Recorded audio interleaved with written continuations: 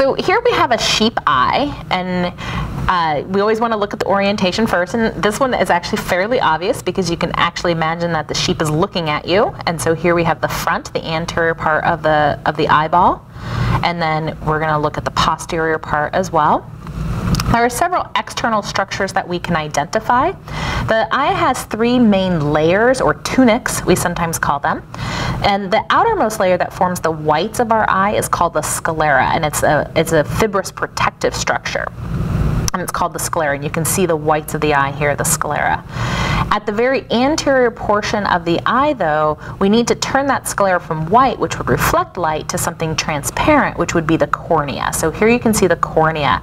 Because this sheep is clearly dead, and preserved, the cornea has actually this sort of cloudy structure, but normally it would be completely transparent. So you can see the cornea here, the anterior part of the fibrous connective tissue, the sclera, we know that the eye can look up, down, left, and right in the orbit of the eye, and so we have these muscles called extrinsic muscles of the eye to separate them from the intrinsic muscles of the eye, which enable us our pupillary reflexes. We sometimes call them pupillary dilator and pupillary constrictor muscles. So here you can see an extrinsic muscles of the eye, extrinsic muscle of the eye, and there are three pairs of extrinsic muscles of the eye, enabling the eye to look up, down, left, right, and also some oblique, so kind of all the way around. At the very back of the eye, before we do our dissection, we have the beginning of our optic nerve. So you can see the optic nerve here. It's a little hard to see, but you can see it's this very round white matter structure, and it's the nerve that's carrying sensory information from the eye towards the brain, right, through the optic nerve, the optic chiasm, the optic tract. So you can see the optic nerve. And you would always find this optic nerve at the very posterior part of the eyeball. And it would actually go through the optic foramen in the sphenoid bone of the skull. So here you can see again the sclera and the cornea. You can see an extrinsic muscle of the eye, and then all the way to the back, you can see the optic nerve. Now we're gonna go ahead and cut open the eyeball. This might take me a couple of minutes because it's quite tough. The sclera is very fibrous and protective of the eye, so it's hard to get through. And just to give you fair warning that there's a fluid in the eye, both an aqueous fluid as well as a vitreous fluid, as well as the preservative that this eye has been sitting in. So there could be a little bit of um, fluid leaking out or squirting out as I do my dissection. So I'm just gonna cut right along the margin between the cornea and the sclera so that we can see the underlying structures of the eye, like the iris and the lens.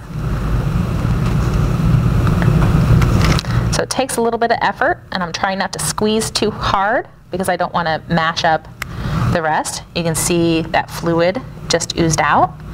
And then I'm just going to go ahead and cut all the way around.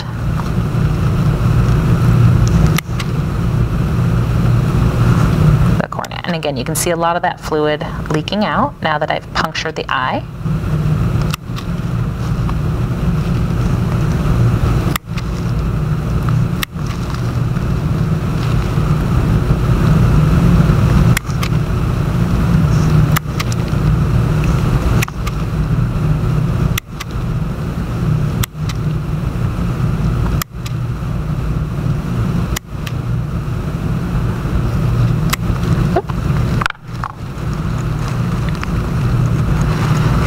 So here you can see again the cornea. And then if I just remove the cornea, and you can see again it's slightly miscolored because uh, this sheep has been dead for, for quite a while. And now that we see the, the cornea is removed, we can see the colored part of the eye called the iris. And this iris is slightly golden brown can see that here. And there's a hole right in the center of the iris called the pupil. So the pupil actually is an absence of a structure. It's a hole surrounded by the iris, which contains muscles that enable the iris actually to constrict and dilate, making the pupil smaller or larger when we talk about pupillary reflexes. We're really talking about the muscles of the iris contracting and relaxing because the pupil itself is just a hole. Right inside the pupil, just behind the pupil, is uh, a hard structure called the lens, which helps focus light on the sensory portion of the eye called the retina, which we're going to look at now. So we saw that. Now I'm just going to go ahead and I'm just going to cut down about half an inch or so and then cut all the way around the sclera so I can see the inside of the eye. This won't take me quite as long.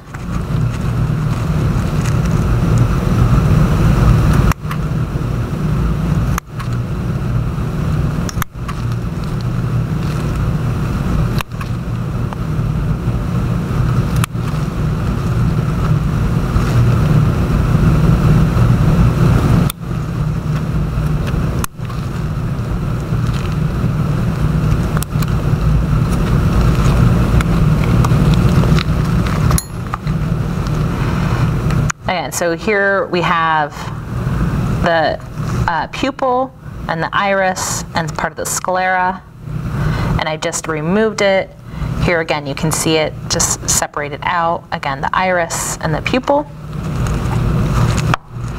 And then we can see inside and we can see the lens, this, this kind of white structure here, the lens that is suspended in this fluid, this jelly-like fluid here, called the vitreous humor or the vitreous fluid. And the vitreous is important because it helps hold the retina in place. And then you, again, you can see the, the lens which sort of nestles in it as well. So I'm going to go ahead and just tip over the eye and gently, hopefully,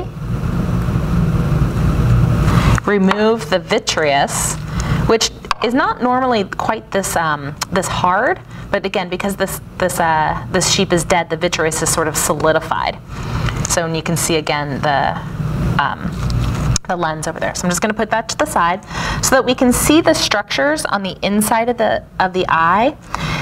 And remember that the the eye has three layers or tunics. We had the outer fibrous layer, the connective tissue layer that's called the sclera. It's going to help protect. And then we have this inner sensory, the innermost sensory layer called the retina. And you can see this retina is this slightly yellowish membrane looking structure. And you can see it here. And this is the retina, and this contains the photoreceptors of the eye that receive light information. And there's cells of the retina that actually get together at the back of the eye at a structure called the optic disc. That then forms the optic nerve. So again, you can see the retina or the nervous layer of the eye, the sensory layer of the eye. I'm going to go ahead and uh, just kind of carefully scrape up the retina so I can see some of the underlying structures as well.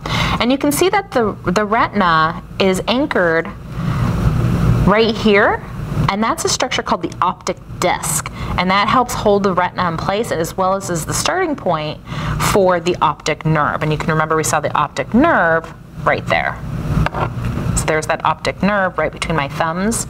And you can see that that is identical to the other side of the location of the optic disc. The optic disc you can actually um, visualize with, uh, it's also sometimes called the blind spot because there's no photoreceptors there. So when light information hits that space, there's no photoreceptors to respond. So sometimes we call that the blind spot. The middle layer between, uh, between the retina, which I've scraped over and just sort of left over here on the side, and the sclera is called the choroid the choroid. And the choroid is a vascular layer, so it's a nutrition layer. It provides nutri nutritive support to the structures of the eye and the choroid. And you can see that the choroid here is very dark, very black in fact because it, the choroid layer also has a pigment that makes it appear very, very dark or black to help absorb extraneous light that's coming in because you want light to come in and only activate the photoreceptors, not bounce around like it's a hall of mirrors, which would make it very confusing to figure out where that light was coming from in the environment. Now, because the sheep is, is a nocturnal animal, it also has the structure that humans wouldn't have, and it's this beautiful yellowish, bluish, greenish color running kind of right down the midline. And this is called the tapetum lucidum the tapetum lucidum.